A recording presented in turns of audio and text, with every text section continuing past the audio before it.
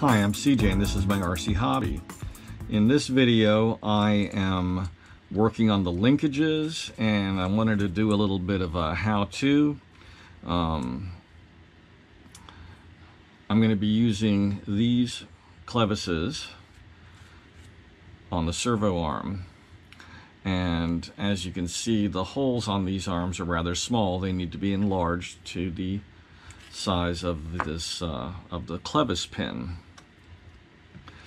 and this is where having little twist bits like these come in very handy. They come in a, a very uh, broad number of sizes. There's another box in addition to these and a handful of uh, pouches that go down as low as, uh, I believe the smallest one is like 0.1 millimeter. Uh, in any event, I have, uh, it's another good reason to have uh, one of these, a nice set of digital calipers.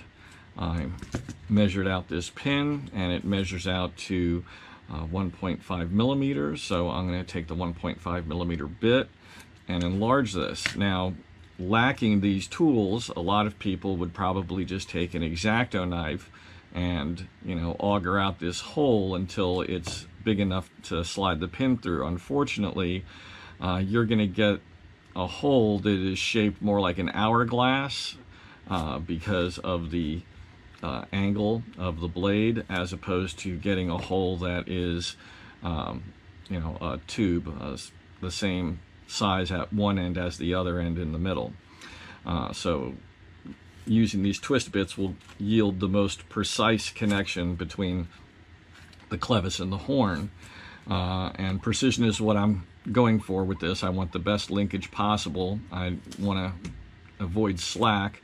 Uh, that's why I'm using these horns um, for the aileron. Uh, they're a little big or bulky, one might say. It's almost a little overkill for this application, but uh, it's a ball joint inside a plastic horn and uh, when this bolt is tightened down there's not going to be any uh, play forwards or backwards, um, and yet it will provide good smooth motion. So um, that means that uh, the ailerons are always going to return to center. You want to avoid situations where you've got a, a dual center. Uh, you may have seen this on an airplane um, when the linkages aren't set up right, push rods, uh, where, for example, your stabilizer or rudder when you give up elevator and release the stick, it returns to one position. When you give down elevator and release the stick, it returns to a different position. So you've got a variance of center. And that's something you want to avoid at all costs. Um, definitely want to avoid that with ailerons. Don't want the plane, you know, wanting to pitch to one side and then you correct and then it wants to pitch to the other side and you can never quite trim it out. Uh, so that's why I'm uh, using this uh, slightly higher grade hardware than one might use for a plane of this type. Always test linkages before you start drilling holes and anchoring horns in place. Um, for example, uh, I might decide this horn is a little tall and I want to might want to put a shorter one or switch to a horn that has uh, a couple of different holes so that I can uh, adjust the amount of throw. So what I've basically done is just use these two clamps to clamp this horn in place so I can test the range of motion with the uh, new servo mount. So let's start by giving full up elevator and that's pretty huge right there. and down aileron or full flap is is pretty massive. Now that's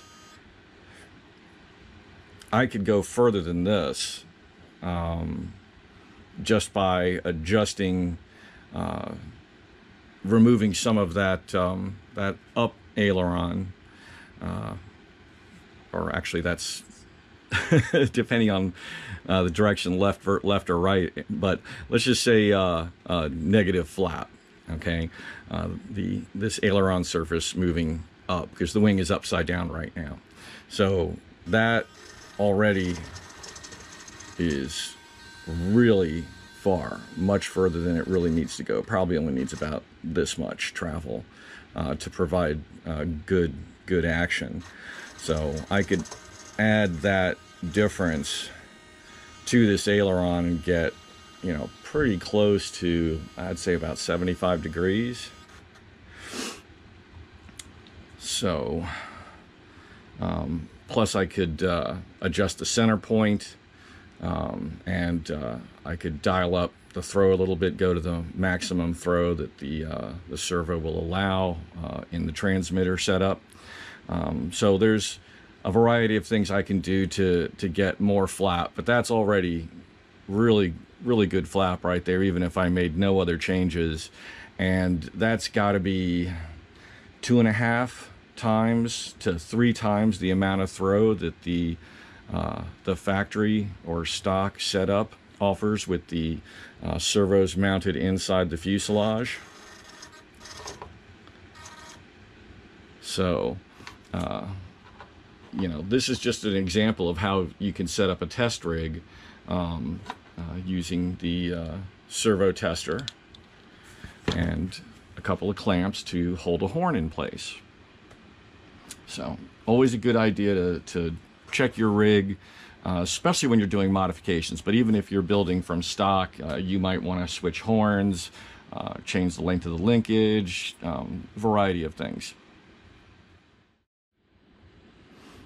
Since the wing has such thin spars, I didn't want to drill holes and uh, try to run the wires through. Even if I took the connectors off, it still requires a, a decent sized hole. Uh, so the easiest way to go uh, that did the least amount of uh, damage to the wing was to just put little notches as you can see one here. And on this side of the wing is already tack glued into place with a little bit of CA just a drop does it. And then I can apply covering over this and the covering isn't going to melt the insulation. It's not uh, the iron doesn't get nearly hot enough uh, I needed to put on a couple of uh, short extensions. I decided to move the servos out uh, one rib further than I had planned, and I think it uh, was a good move from several points. Uh, number one, um, because of the location of this lightning hole, I wasn't going to get a good uh, anchor point for the control horn. And if I did try to make it work, it was going to have to be at an angle. I wasn't going to have a straight line, and that's not something you want to do when you're trying to get maximum throw. Uh, so as you can see uh, with this one, the horn can be in a perfectly straight line and have a solid mounting position uh, on the aileron. So that was worthwhile. And of course I needed to uncover one further so that I could get in with my fingers to uh, make sure I was getting good joints as I was, uh, you know, holding these pieces together while I was gluing these. Uh, uh these bars here are uh, plywood, um, 3 16 inch plywood, I believe. Yes. Um, and uh, notched a little bit to make room for the arm to get full downswing. And I had started with spruce, and after uh, pre drilling some holes, the screws still started to split. Uh, the spruce, uh, that is the one problem with spruce, it doesn't take well to uh, having screws drilled into it, it does tend to split. And uh, plywood does much better for that. It's almost as light, and um, it is definitely going to make for a stronger fit these uh, pieces of balsa wood here are about one mil thick. It's just enough to make a little bit of a decking for um, for covering. And uh, so as you can see, everything's coming together. I'll need to put uh, two pieces of wood. I may go from front to back or just put a tongue sticking out from the edge either way uh, that will have a hole for this to protrude through and then covering to anchor onto. So uh, these are going to be as close to the edge as possible so that the hole for the uh, they can drop into the fuselage. Um, so it's uh, proceeding well. Uh, no no real problems. Uh, nothing that was too hard to do. This is definitely a modification that uh, um, anyone of moderate building experience. Let me put it this way: if you can build the kit up to this point, you can handle modifying the wing to have uh, outboard mounted servos instead of having the servos in the fuselage. In similar fashion to the wing spars, I just notched these two uh, thin and very light pieces of plywood. Uh, this is just some scrap plywood uh, from uh, previous kit and it's very very light. And so I just cut two pieces and and then notched them and glued them in place with five minute epoxy.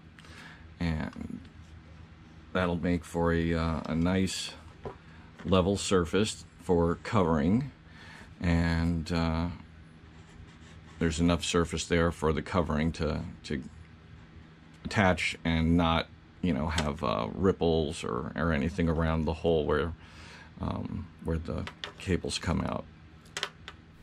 I hope you enjoyed this video.